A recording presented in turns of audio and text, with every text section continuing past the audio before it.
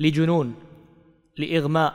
نعم الجنون والإغماء متقاربان لأن المقصود بالجنون اللي هو جن فترة ثم أفاق. مو مقصود أنه صار مجنون إذا يغتسل لا جن ثم أفاق. هو تقريبا شبه الإغماء نوع من الصرع.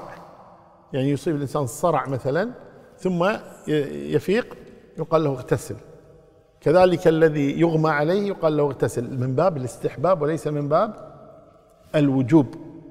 من باب الاستحباب وليس من باب الوجوب.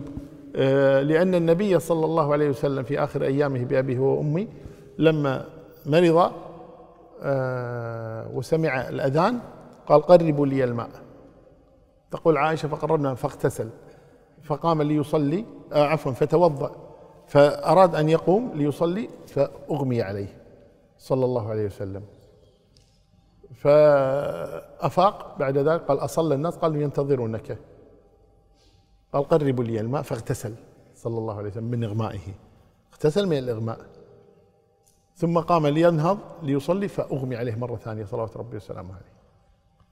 فلما أفاق قال صلى الناس قال ينتظرونك يا رسول الله.